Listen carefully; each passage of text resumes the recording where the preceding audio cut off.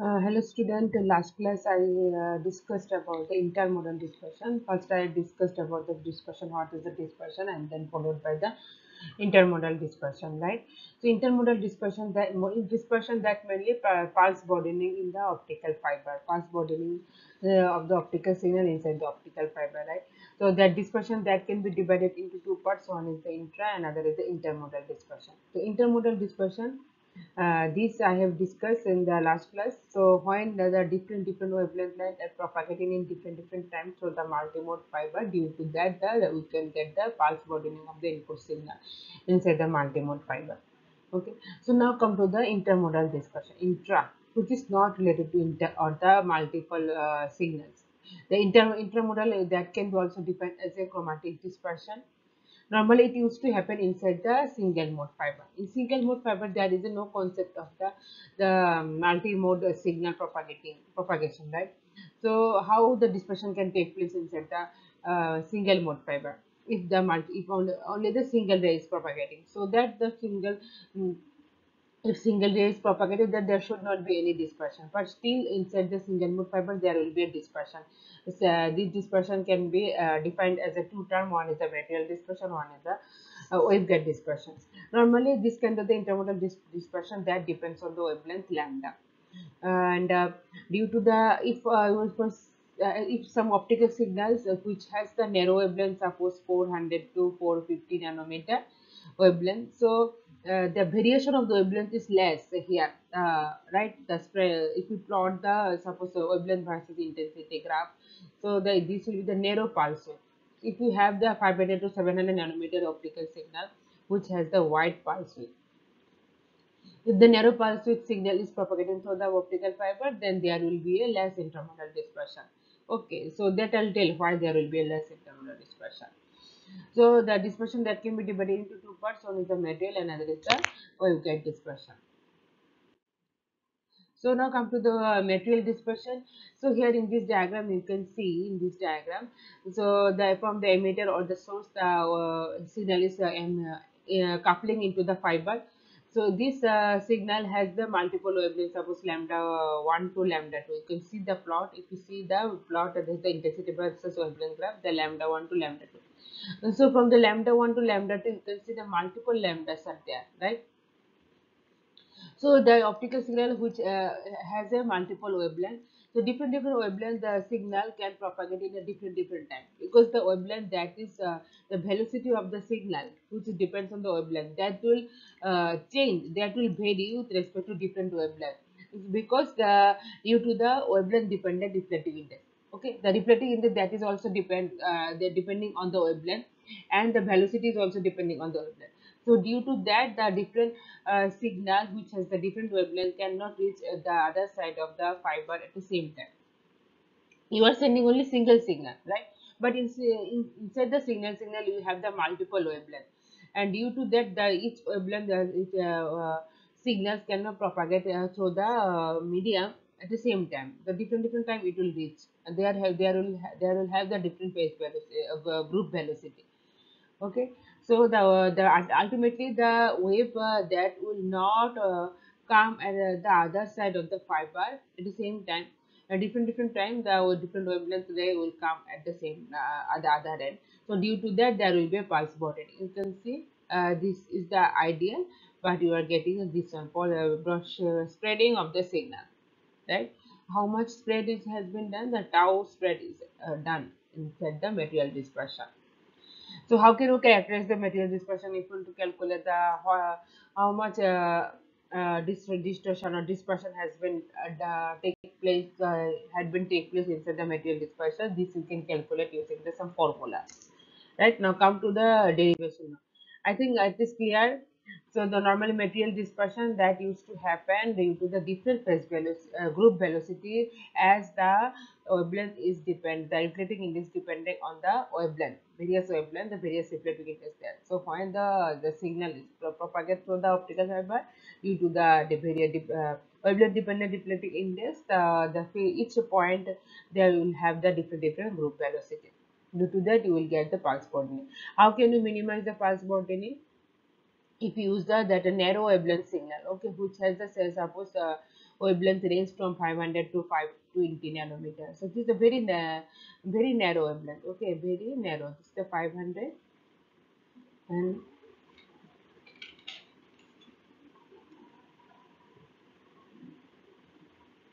the 520 nanometer okay.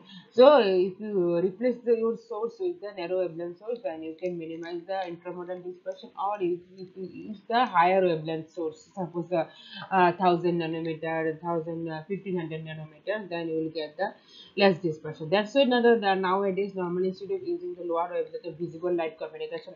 Uh, related to infrared light communication nowadays so here you can see that there are the two types of source that will I will discuss in the upcoming lecture. So one is the laser and other is the LED. So laser that has the narrow pulse width, uh, you can see this is the narrow pulse width and the wide uh, LED is the uh, wider pulse width. So if we use the laser as a source, so if the, this if the signal coming from the laser, if that signal is proper used to propagate from the optical fiber, you will get the less material dispersion.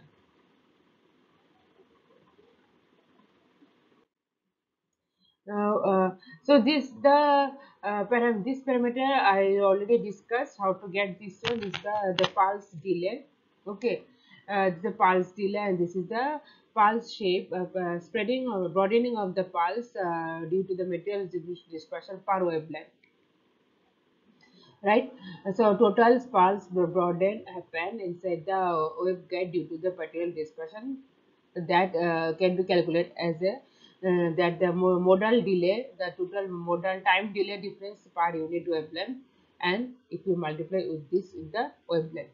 Okay, so here you will get the total uh, spreading uh, with respect to the wavelength. Right, so that uh, tau material that I have already discussed, the delay time is equal to uh, the delay time is equal to L by group velocity. Okay, so group velocity you can replace the group velocity value with the d omega by d beta. You will get this one L into d beta by d omega. Now, in case uh, in this material dispersion, what I told that that reflecting index that is wavelength dependent. Okay, the reflecting index that is wavelength dependent. So instead of writing beta, beta is the propagation constant, you can write the beta as a 2 pi by lambda into n lambda. So this beta that is replaced with the 2 pi by lambda into n lambda. Now if you derive, derive uh, this suppose this is n lambda by lambda. Okay, so if you derive this thing, okay, with respect to lambda, for what you will get? So what we will get first you have to derive the in first point I will derive the 1 by lambda with respect to lambda.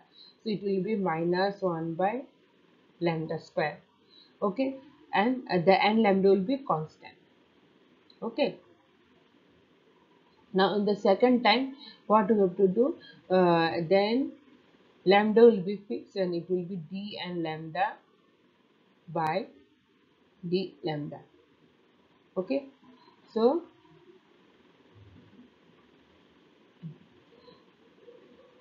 right so on what one time you will get the minus n by lambda square and the then you will get the minus 1 by lambda d and lambda d if you derive the n lambda with the n lambda by lambda with respect to d lambda. Okay you will get this one. Minus n by lambda square minus 1 by lambda d and lambda by d lambda. So all of you know the formula how to derive this the division a by b. This way i have derived this one. So if we replace uh, uh, if we replace n lambda d d of n lambda with this value these two value and after substitution we will get this one. Okay because this lambda square will be cancelled out this lambda square. If you put instead of n uh, d d of n lambda if you put this value after substitution you will get this one. Okay this value then uh, if uh, my ultimate aim is to calculate the total pulse broadening due to the material dispersion. So that can be defined as a lambda, sigma g is equal to d tau max by uh, d lambda into sigma uh, lambda. Okay. So this is nothing but this is the d, d lambda. Okay, d lambda we have replaced with the sigma lambda. And as instead of uh, tau mat, if you put this one, again instead of tau mat, if you put this one and if we enter equation, if you derive by the lambda, okay so you will get this one. Okay i'm doing here l by c constant. So if you want to derive this one n minus lambda d n by d lambda uh, d lambda okay? So uh, this will be dn by d lambda and from this one first lambda is constant then uh, d square n by d lambda square and again then the lambda will be derived if you derive the lambda it will be 1 and then dn by d lambda. Okay?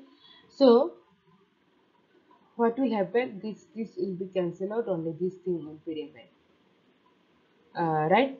Uh, so in this way you can uh, derive this. Okay this will be cancel out. And which is cancel out you will get only this one. So only this one you will get right? So instead of uh, d tau mat by d lambda uh, you will get this one right? L by c it's come from here. Okay sigma lambda is there. And the entire uh, so it is the entire term it can be defined as a uh, d mat dispersion material. Okay material dispersion with respect to lambda this term entire term and the l is a uh, sorry this one. Uh, l uh, sigma lambda this entire term is called defined as a dispersion okay so this uh, in this way you can calculate the how much pulse broadening happen and what is the material dispersion how to calculate the material dispersion or just the material dispersion I think the derivation is clear. So the before the derivation, these things I have already discussed how the tau is related to group velocity. Next come to the waveguide dispersion. So waveguide dispersion that uh, mainly happened uh, due to the uh, core cladding difference. Or uh, suppose I have already discussed the in single mode fiber there is a one parameter the mode field diameter. Okay in single mode uh, suppose this the core and this is the uh, cladding. Okay so the signal some signal is propagating like this way and some signals are propagating like this way some so when uh, the signal try to uh, hit the core cladding interface uh, due to the reflecting index variation due to the some imperfection some portion of the light will be penetrated into the uh, cladding. Okay some portion of light or some portion of the power will be penetrated into the cladding. So uh, whatever power you should get whatever, whatever shape of the signal you should get at the other end of the fiber you will not get the exact shape. So some uh, distribution in, uh, inside the cladding also.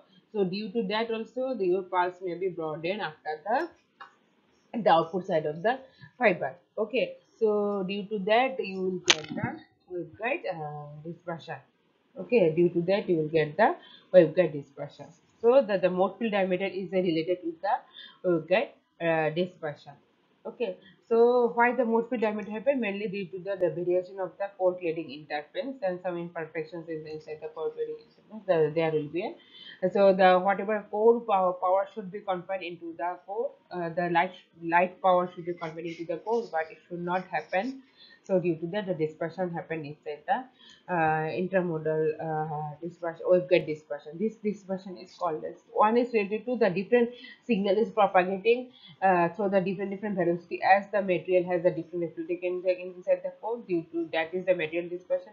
And the waveguide dispersion that is due to the structure of the core and cladding and reflecting index of the core and cladding so uh, uh, entire amount of the light should not be confined into the core uh, some portion of the light will be penetrate into the waveguide so that uh, related to waveguide dispersion. So the normally the entire the waveguide dispersion depends on the structure of the optical fiber.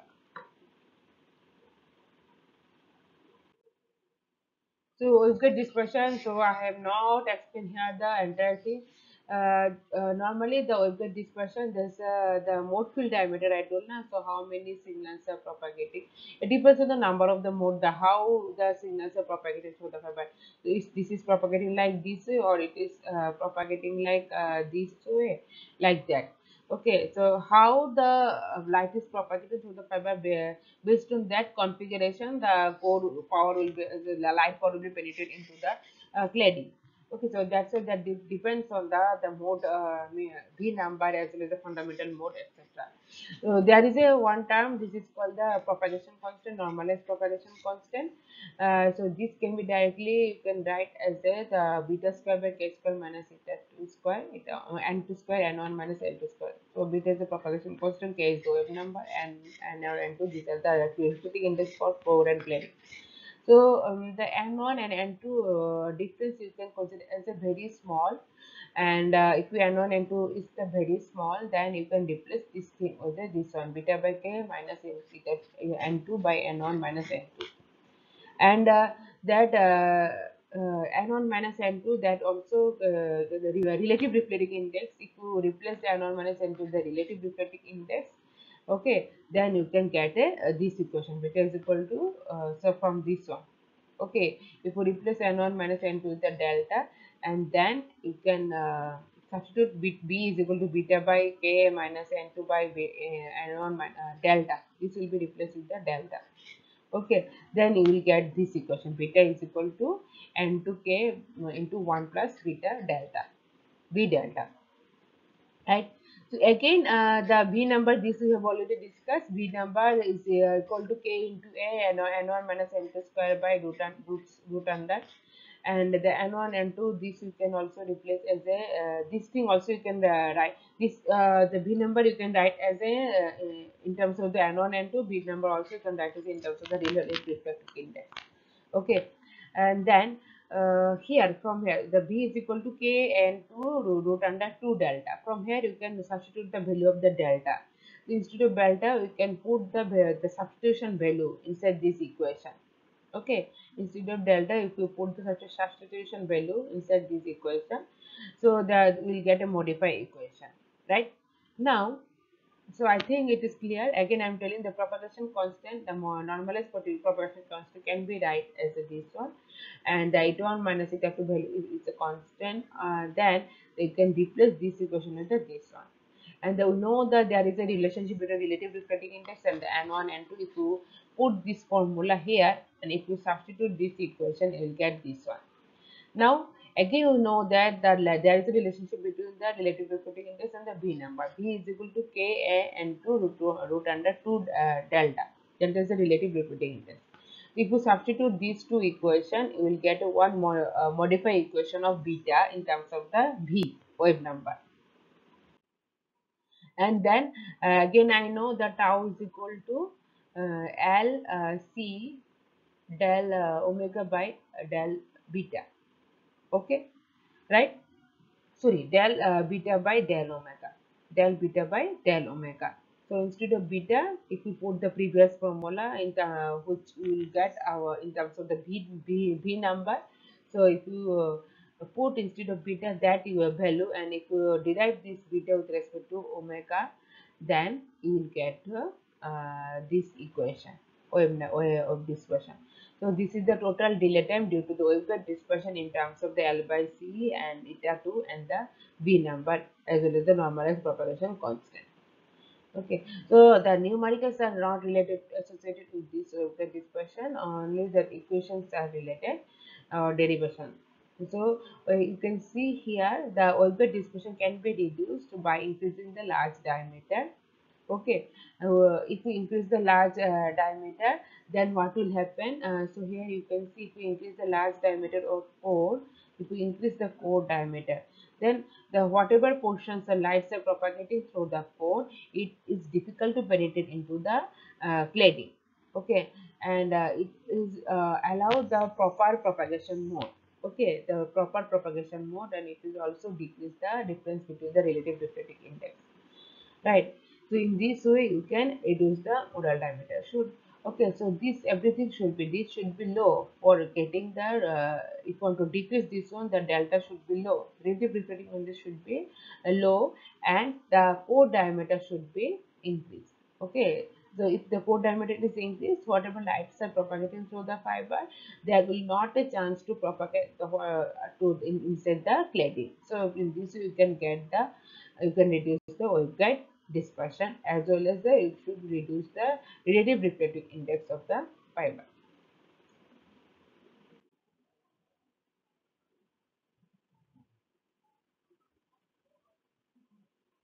So this is the uh, total pulse shape that is the del sigma uh, g is equal to d tau by d lambda into del sigma lambda.